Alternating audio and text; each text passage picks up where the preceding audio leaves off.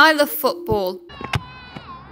I love football shirts. I just love football things, really, but they're just so expensive. I want to see what football gems I can find at charity shops. How many football items can £30 get me? Not many, probably. If you're after a flannel, this is the perfect place, but not for football shirts, it appears. First stop Richmond, North Yorkshire. A beautiful Yorkshire market town, home of Earl's Orchard Football Ground, voted the most scenic ground in the UK, and plenty of charity shops to explore too.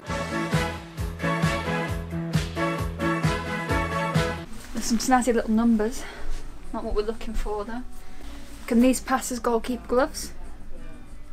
I didn't think so. In my first charity shop, I had very little luck. I searched through the DVDs, I looked through the books, I found a mug referencing rugby and a tennis racket. That's not my sport. And just like Timo Werner, I couldn't seem to find the target at the first shot. It's a thumbs down from me. We've got to keep the spirits and move on to charity shop number two.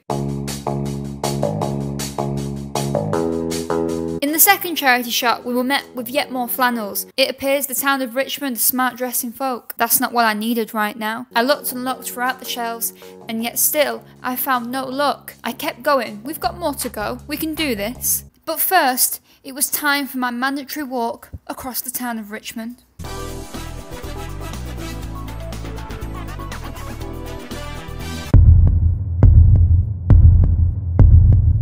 Build up came near, the crowd are roaring. We need to find something.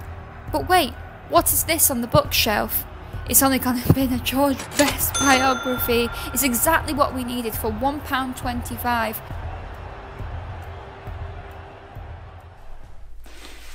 It's been an emotional day. I did find a DVD about Manchester City and a book referencing how long it would have taken Tottenham to score a goal in the League Cup final, but apart from that, no luck.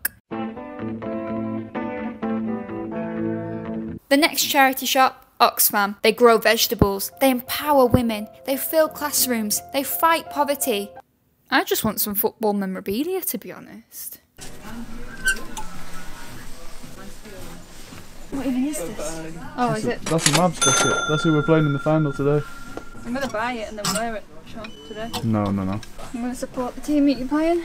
Richmond Mavericks are an amateur football club from Richmond. The club have become famous for their foreign tours, visiting France, Sri Lanka, Nepal, Switzerland, and Singapore and Malaysia. That's more European trips than Arsenal in the last few years. This is a local club for local people. Not only did I find the jacket, I looked up to find a book talking about the first 100 years of the Football League. Not only that, I found Bladder, a two player game based on the origins of football, a combination of chess and football. It looks unreal to be fair. And a DVD, The Football Factory. What charity shop is this? Oxfam. The latest thing we found is the Football League First 100 Years. It's foreword by Tom Finney. Pretty sure he used to be a Preston North End player. So this is a mega bug. Just I've called it a bug. I've called it a bug. And over here I've just noticed something as well. I'm not gonna get that at all, so let's just clean that off. Bad news is we've just we've, we've lost one of the things we've just picked up from this shop. I just I put it down. And you know you know when you put something down? Right, actually I'm panicking now, I'm not even having a laugh with you. What's the point?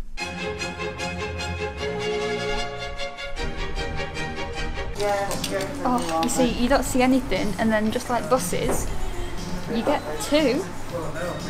To begin with, I signed for Olympique Lyon, and then I was that exceptional that Italy, my national team, wanted my services.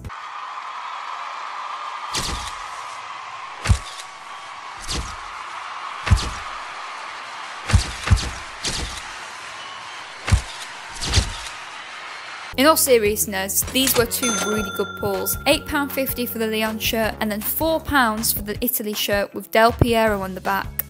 There we go. Thank, Thank you. you. This time around I had a lot less luck I was in search of some football mugs, but all I could find was Florentino Perez. I had to look at the DVDs. This wasn't a DVD about Damien Duff. This wasn't a DVD about Newcastle United's footballing style. And this wasn't a DVD documenting what Kepa uses too much of. Oh, actually, I'm gonna get Mrs. Brown's Boys. Said nobody ever. But this was a football DVD, the history of football. I'm actually really excited to watch this. All CDs and DVDs were two for a pound, so I bought something else and got purchasing which leaves me with all my items. So I got two football shirts, a football jacket, so I got an Olympique Lyon football shirt and an Italy national team shirt with Del Piero on the back, a Richmond Mavericks football jacket, two football DVDs, two football books, and a football board game, all for less than £30.